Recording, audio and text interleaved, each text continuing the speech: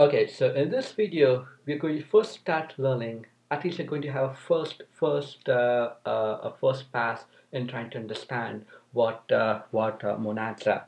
And uh, even before giving an intuition, even before giving you an idea of what uh, pure functions are and what impure functions are, what I would like to do, at least in this video, is just formally, just formally look at the the the formal definition of the monads type class in Haskell and uh, and see if we can at least at least figure out uh, uh, using some of the things that we have been learning of what um, uh, about uh, Haskell's type classes so that we can figure out what this what this lowercase m in this uh, formal definition actually really really means. And more importantly um, um, if I would like to create if I would like to have some type that would like to be an instance of the monad type class, what are some of the things that uh, uh, uh, uh, what, what what what would be the very first step that I would be doing in uh, making that type an instance of my of my monad type class.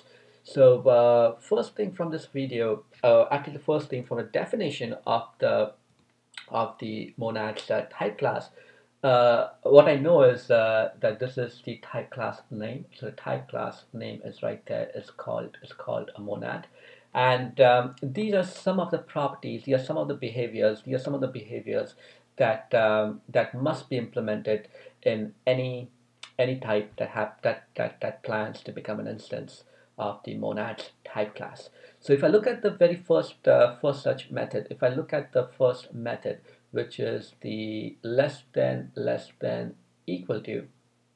And uh, the type the type for this is portrayed as uh, takes in something of type MA and uh, the second parameter happens to be a function that goes from A to MB and the third parameter the output is basically something of type M MB.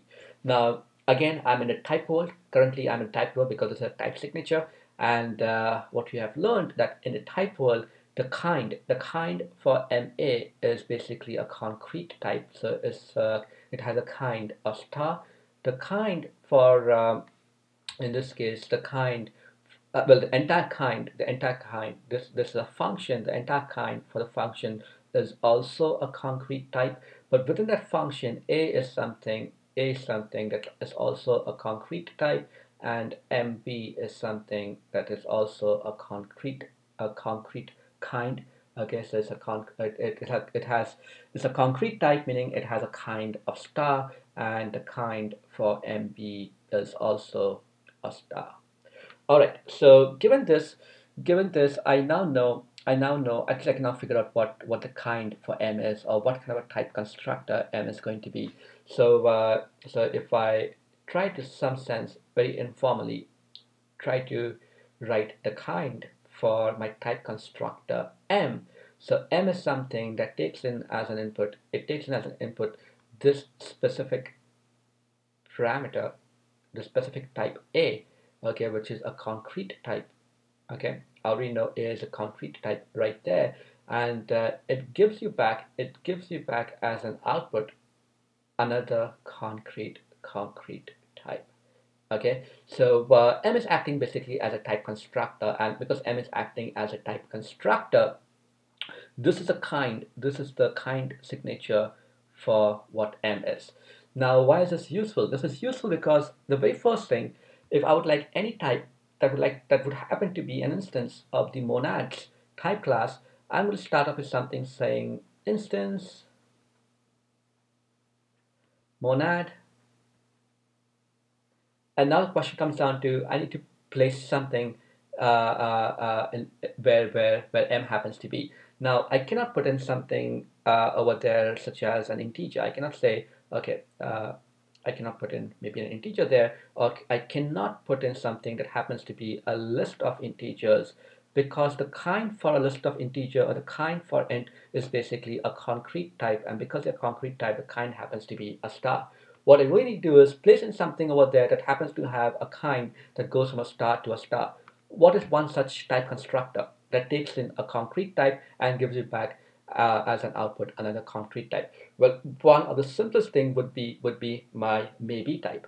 So uh, if I quickly write a definition of my maybe, uh, my maybe is the the type constructor maybe is maybe of x equals to equals to just of x or or nothing okay so I can easily see that, that, that this may be over here. The kind for maybe so the kind for maybe is basically from a star to a star.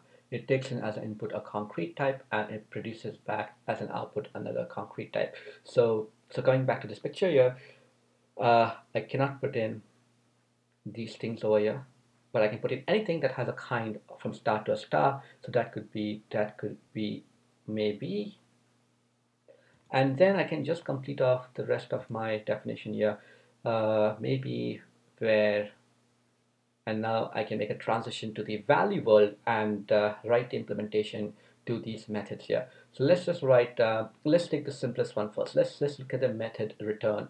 So if I were to write the implementation to this method return right?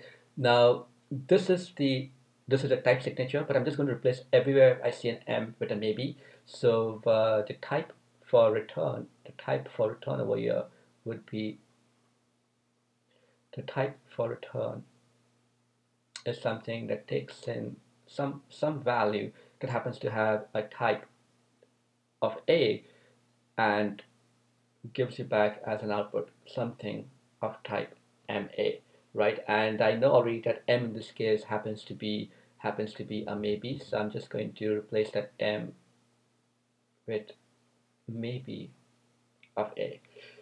Alright so how would I how would I do this? This is a type how would I actually create how would I create a value that uh, that follows this type signature? So return and uh, uh, this could be this A could be anything. It literally could mean anything. So I'm going to say return uh, x okay some value x that happens to have a type of this uh, whatever the type happens to be in this type variable of a and uh, that is going to equal to that is going to equal to how they create some value that happens to have a type of maybe of a. So maybe of x I can just create that as just of x. So I can say return of x equals to equals to in this case just just there okay? And um, so this is this is this is one example of uh, how to create an instance of my monads type class. And uh, let's just complete one more method over here. So this over here is basically uh, people like call, I mean this is also called the bind the bind method okay? And um, so to, to implement the bind method I'm going to set this point uh, I'm going to say uh, so return x of okay so that's my return method and now to, to implement my bind method I'm just going to say the bind method takes in as a parameter something that happens to be of type m of a and it takes in a function and outcomes back outcomes back a value of m of b. So so what I'm going to do at this point is uh, first let's give this value. So I'm just going to do some type matcher pattern matching. So I'm going to say the first value is basically something let's say just of x okay? That's the first value. M of a meaning maybe of a. So that's pattern matching. If it matches to just of x. And the second parameter is let's say is some kind of a function some kind of function f. Then the output the output of this is going to be some value of type m of b. So first thing I can do is I can take my function f which is right there make it work on something that happens to be of type of a okay? So which is right there. X is something that happens to be of type of a. So I can say f of x right? That gives me back some value which is uh, in this case uh, uh, okay so all right so my method f takes in something of, of a type of lowercase a okay? And the lowercase a is basically this this uh, this x over here by, by the pattern matching. This entire thing, this entire thing is basically maybe is of type maybe of something. And uh, this x over here as a type of something, right? If this is maybe of something, the type of x is something, and I'm saying f of that x will give you back, this entire thing is going to give you back, uh, uh, this entire thing is going to give you back some output that happens to have a type of, of MB, okay? And likewise, just to complete this pattern matching entirely, I'm going to say if the second value in place of just of x, it was actually nothing, right? Maybe of x could also be nothing.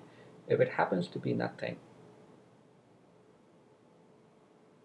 right? And then I really don't care about what the function I'm getting in, okay? But the outs, the answer to this is